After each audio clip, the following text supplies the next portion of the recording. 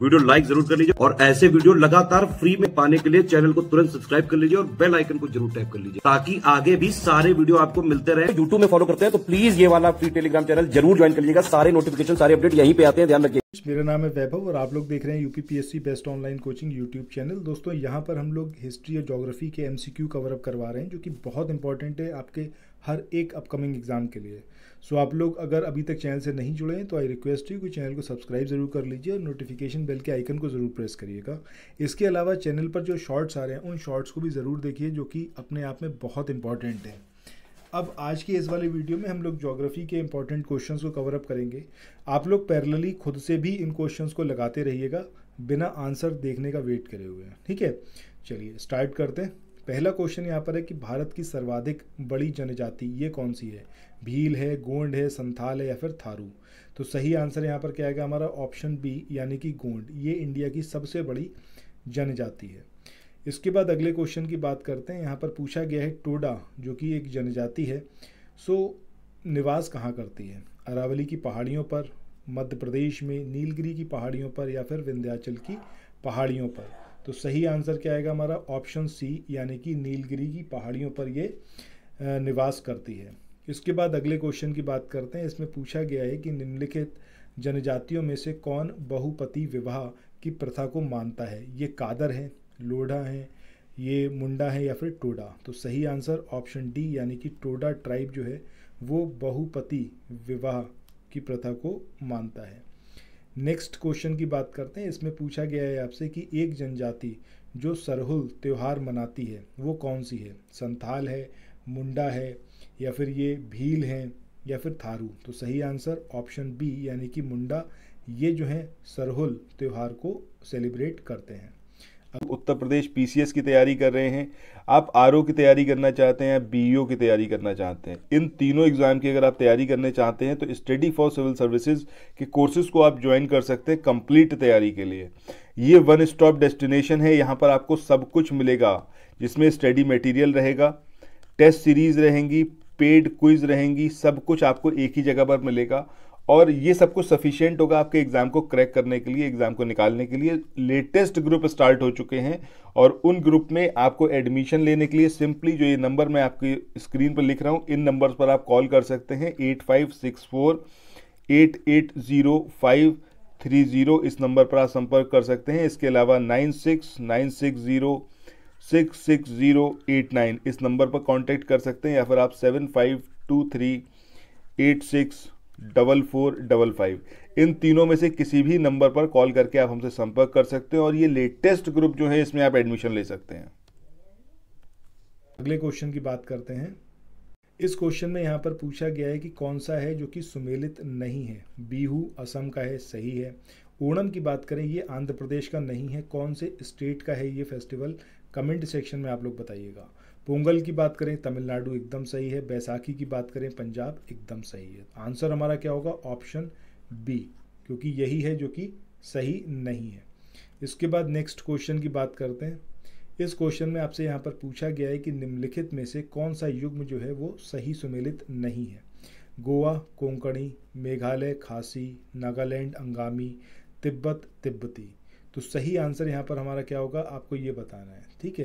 तो आंसर क्या होगा हमारा? Option D. बाकी अगर गोवा की बात करें, कोंकणी, मेघालय की बात करें, खासी और नागालैंड की बात करें, अंगामी, ठीक है? ये भाषाएँ बोली जाती हैं, लेकिन सिक्किम में तिब्बत नहीं बोली जाती। तिब्बती कौन सी लैंग्वेज बोली जाती? कमेंट सेक्शन में बताइएगा। चलिए, आगे चलते हैं नेक्स्ट क्वेश्चन पे। इस क्वेश्चन में यहाँ पर पूछा गया है कि भारत की निम्नलिखित जनजातियों में से किसमें बहुपतित्व की प्रथा मानी जाती है? ये गोंड हैं, नागा हैं, जौनसारी हैं या फिर टोडा? तो सही आंसर हमारा क्या होगा? एक तो जौनसारी और दूसरा है टोडा। इन दोनों में ही बहुपतित्व की प्रथा है। सो लेट सी कि आंसर क्या होगा हमारा? ऑप्शन सी ठीक है? यानी कि तीन और चार। ये यहाँ पर हमारा सही होगा। इसके बाद चलते हैं अगले क्वेश्चन पे। इसमें आपको लिस्ट दे रखी है दो और नीचे एक कोड दिया हुआ है, ठीक है? आपको बताना है कि इसमें से कौन सा सही होगा।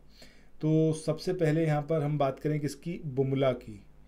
तो एक तरफ़ ये ट्राइब दे रखी है और एक तरफ़ आपको क्षेत्र दे रखे हैं। तो बुमला की बात करें तो बुमला ये जो ट्राइब है ये कहाँ पाई जाती है? झारखंड में। सो इसका मैच किससे होगा हमारा? झारखंड से। भूटिया ट्राइब की बात करें तो भूटिया जो ट्राइब है ये कहाँ पे पाई जाती है? सिक्किम में। टोडा ट्राइब की बात करें तो टोडा ट्राइब कहाँ पर पाई जाती है आपकी? अंडमान सॉरी तमिलनाडु में, ठीक है? बाकी सेंटलीज की बात करें तो ये कहाँ पर पाई जाती है? ये है आपके अंडमान निकोबार। तो हमारा कोड क्या बनेगा यहाँ पर? Three, four sorry four, three two, one.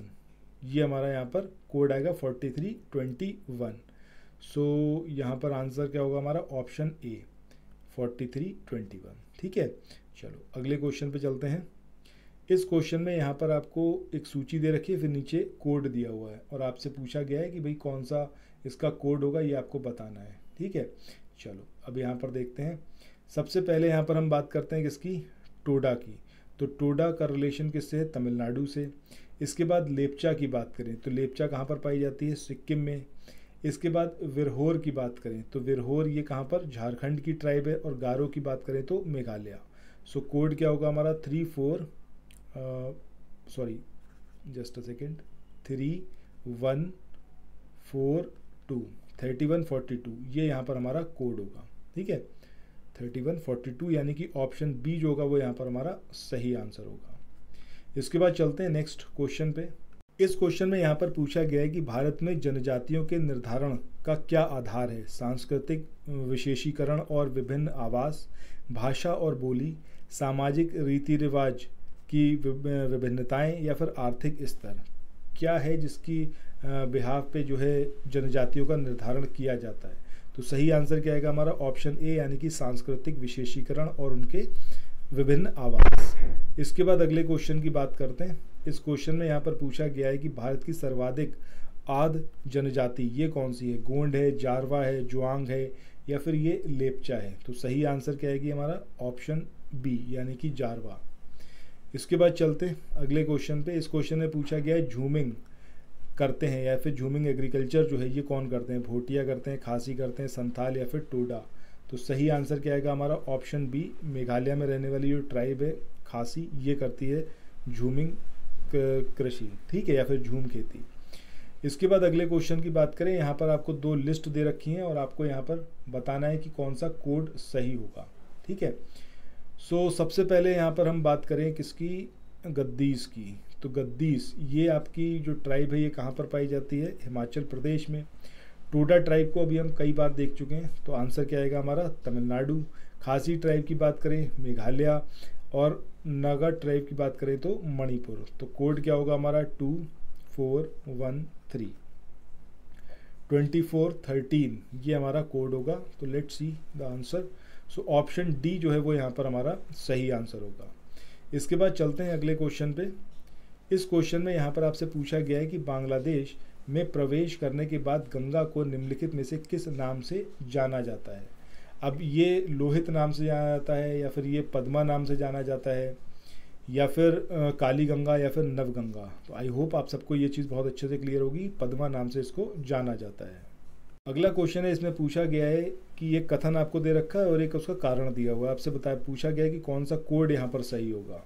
सो कथन है कि गंगा बहुत ही प्रदूषित नदी है। कारण ये है कि जो नदी जितनी पवित्र होती है, वह उतनी ही अधिक प्रदूषित होती है। अब इस वाले कथन का अपने आप में कोई औचित्य नहीं है कि ये बात ठीक है, चलिए पवित्र नदी है तो वहाँ पे लोग पूजा पाठ करेंगे, स्नान करेंगे बट ये मेन कॉज नहीं है गंगा के पॉल्यूटेड होने का, ठीक है? सो आंसर हमारा क्या आएगा? ऑप्शन सी ए सही है, गंगा पॉल्यूटेड है नो no डाउट और इसका लास्ट का जो स्ट्रेच है, उसमें ये और ज़्यादा प्रदूषित हो जाती है, लेकिन जो ये इसका कारण दिया हुआ है कि ये पवित्र नदी है और जो भी पवित्र नदियाँ होती हैं, वो बहुत ज़्यादा प्रदूषित होती हैं, ये गलत है। तो आंसर क्या आएगा हमारा? सी इसके बाद अगले क्वेश्चन की बात करें, इस क्वेश्चन में यहाँ पर आपसे पूछा गया है कि निम्नलिखित स्थानों में से कहाँ पर भागीरथी व अलखनंदा, ये नदियाँ मिलती हैं देव प्रयाग कर्ण प्रयाग विष्णु प्रयाग या फिर रुद्र प्रयाग तो सही आंसर क्या आएगा हमारा? देव प्रयाग जहाँ पर भागीरथी और अलखनंदा मिलती हैं, उसके बाद जो है गंगा की धारा के नाम से ये जानी जाती हैं। इसके बाद नेक्स्ट क्वेश्चन की बात करते हैं, इसमें भी आपको एक कथन और एक कारण दिया हुआ है, ठीक है? और आपसे पूछा गया है कि भाई कोड यहाँ पर कौन सा सही होगा। सो कथन है कि दिल्ली और आगरा के मध्य वर्ष के अधिकांश समय में यमुना मृत प्राय हो जाती है। सही बात है। यमुना असत वाहिनी नदी है। ये गलत है। ठीक है? सतत वाहिनी नदी है, असत वाहिनी नहीं है। तो आंसर हमारा क्या होगा? Option C. इसके बाद चलते हैं नेक्स्ट क्वेश्चन पे। अगला क्वेश्चन यहाँ पर है। इसमें आपसे पूछा गया है कि निम्नलिखित नदियों में से कौन एक यमुना की सहायक नदी नहीं है? बेतवा, चंबल, केन या फिर रामगंगा। आई होप कि वाला ऑप्शंस देख के आपको एकदम क्लियर हो गया हो कि भैया रामगंगा इसकी सहायक नदी नहीं है। किसकी सहायक नदी है? कमेंट सेक्शन में आप लोगों के आंसर का वेट करूँगा। इसके बाद अगले क्वेश्चन में यहाँ पर पूछा गया है कि ब्रह्मपुत्रा नदी का बहाव क्षेत्र, ये कौन सा है? अब ये आपका तिब्बत, बांग्लादेश, भारत है। भारत, चीन, बांग्लादेश, तिब्बत है। या फिर भारत, पाकिस्तान, बांग्लादेश, सिक्किम है। या फिर बांग्लादेश, पश्चिम बंगाल, भूटान और नेपाल है। तो सही आंसर ऑप्शन ए आएगा, यानी कि तिब्बत, बांग्लादेश और भारत। चलते हैं नेक्स्ट क्वेश्चन पे। ये आज के इस वाले सेशन का आखिरी क्वेश्चन है। इसमें पूछा गया है, निम्नलिखित नदियों में से किसके स्रोत बिंदु लगभग एक ही है? ब्रह्मपुत्रा और गंगा, तापी और व्यास, ब्रह्मपुत्रा और सिंधु सिंधु और गंगा। कौन सा यहाँ पर हमारा सही आंसर आएगा, आपको बताना है। तो ऑप्शन सी, यानी कि ब्रह्मपुत्रा और सिंधु दोनों के स्रोत बिंदु लगभग एक ही हैं। सो so, दोस्तों इसी के साथ आज के इस वाले सेशन को यहाँ पर एंड करते हैं। चैनल को सब्सक्राइब ज़रूर करिएगा और नोटिफिकेशन बेल के आइकन को ज़रूर प्रेस करिएगा। ठीक है? तो फिर मिलते हैं अगले वीडियो में। Thank you so much bye